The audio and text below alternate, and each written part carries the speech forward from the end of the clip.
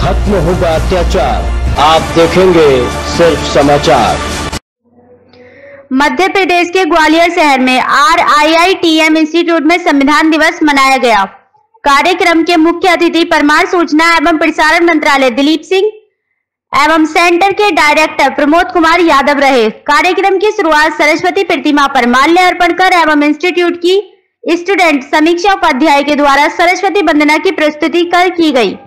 कार्यक्रम में दिलीप सिंह ने बताया, संविधान के अंतर्गत हमारे मौलिक अधिकार एवं कर्तव्य दिए गए हैं, परंतु समाज में हर मनुष्य को इसकी जानकारी नहीं होने के कारण कई प्रकार की परेशानियों का सामना करना पड़ता है। इस कार्यक्रम में नुक्कड़ नाटक का भी आयोजन किया गया। नुक्कड़ नाटक में अजय माथुर एवं मंगल सिंह ने अहम भूमिका निभाई। कार्यक्रम के अवसर पर R I I T M institute की दूसरी ब्रांच का शुभारंभ किया गया। कार्यक्रम में छात्र छात्राओं द्वारा एक्टिविटी का भी आयोजन किया गया। कार्यक्रम में फैकल्टी मेंबर एवं इंस्टीट्यूट के सभी छात्र छात्रा उपस्थित रहे। कार्यक्रम के समापन पर विजय प्रतिभागियों को पुरस्कार प्रदान किए गए। एक्चुअली में आज का संविधान दिवस 26 नवंबर को पूरे देश में मनाया गया।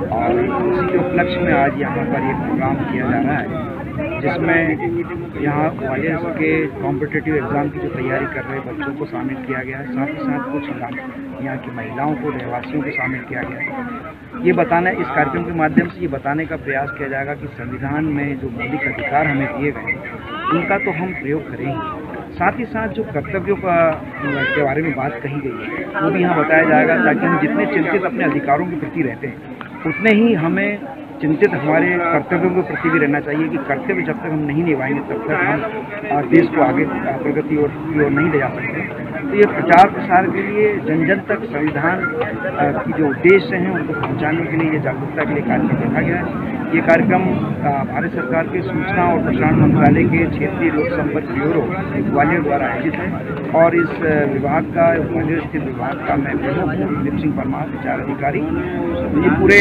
मध्य प्रदेश में हमारे पाँच जगह इस तरह के कार्यक्रम आयोजित किए जा रहे हैं, जहाँ जहाँ हमारी मीडिया यूनिट्स हैं। और पूरे देश में ये जागरूकता के लिए कार्यक्रम हो रहा है, ताकि लोगों को इस संविधान के बारे में पता चले। और वो इसका लाभ भी ले सकें और अपने कर्तव्यों का भी अच्छी तरीके से निर्वहन कर सकें।